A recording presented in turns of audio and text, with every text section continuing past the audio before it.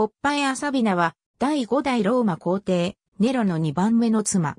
イタリアのピケネムでティトゥス・オッリウスと同盟の母親ポッパイア・サビナとの間に生まれる。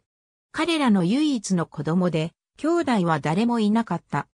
父親はティベリウス帝時代にクワエストル職を得ていた人材であったが、当時プライフェクトスプライトリオであったルキウス・ワイリウス・セイアヌスと親密な関係であったために、セイアヌス失脚後、それ以上の感触を得られないまま没落。彼女の母親は裕福で優れた美貌を持ち、とても愛嬌のある女性だったとタキトゥスは記述している。しかし母親は47年に、クラウディウス帝の日、メッサリナによって自害を命ぜられている。母方の祖父は、ガイウス・ポッパイウス・サビヌス、身分が低いが、ティベリウス帝の下に、トラキアに、転戦、9年には、失政官職を得て、プロコンスルとしてギリシアに赴くなど、ティベリウス帝の治世下で活躍し、35年に没した。母子ともに名乗るポッパイア・サビナの名前は、帝世紀の女性の名前の慣習通り、このポッパイウス・サビヌスの女性系である。ポッパイアが生まれた翌年父親ティトゥス・オリウスが没し、母親はプブリウス・コルネリウス・レントルス・スキピオと再婚する。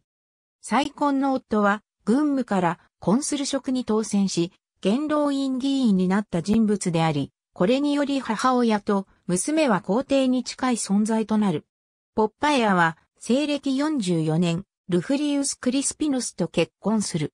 夫はエクイテスの出自ではあったが、クラウディウス帝の時代にはプライフェクトスプライトリオまで上り詰めた男であった。後にクリスピノスは、ネロの母小アグリッピナによって失脚し、セクストゥス・アフラニウス・ブッルスがその後任となった。クリスピーノスは、その後、65年にネロの暗殺計画に名を連ねたとして、流罪となる。58年頃、ポッパイアは二人の子がいたにもかかわらず失脚した夫を見限って、ネロの親しい友人で当時財務官を務めていた夫と結婚した。しかし結婚後間もなく、夫を通じて、ポッパイアを知ったネロに愛され、皇帝の愛人となり、夫はルシタニアに左遷されてしまったと言われる。また、ネロの愛人だったポッパイアを、ネロが妻のオクタウィアと正式に離婚するまで保護するはずだったのに、オトがポッパイアを自分の愛人にしてしまい、ネロとの友情が壊れ、オトはルシタニアに左遷されたとも言われる。ポッパイアサビナとネロの肖像が彫られた高価歴史家タキトゥスの彼女に対する見方は厳しく、野心があり、非常な女性と述べている。ポッパイアはネロに近づきたいがために、オトと結婚したと言い、また、ネロの母ショアグリッピナの殺害をネロに後押ししたのも彼女だという。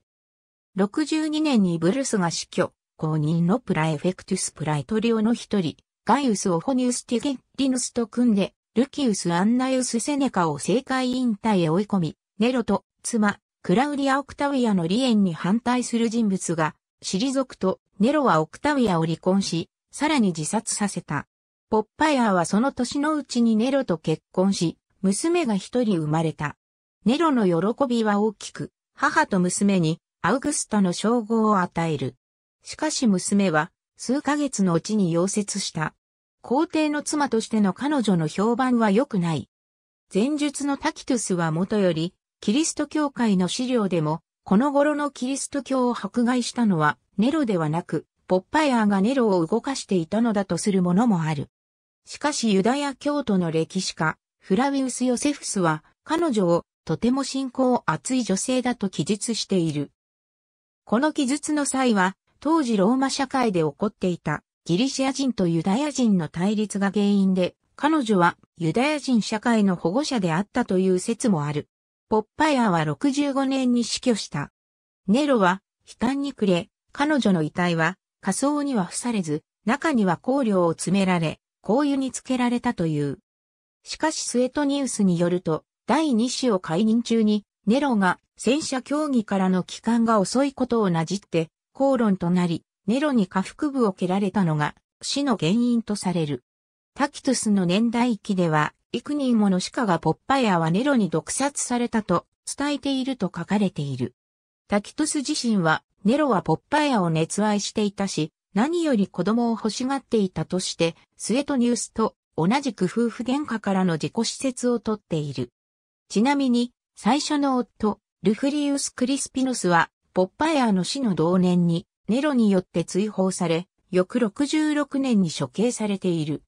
ポッパイアが生んだ同盟の息子、ルフリウス・クリスピヌスも66年に、釣りの最中にネロによって15歳で処刑され、ポッパイア直径の血筋は絶えている。ありがとうございます。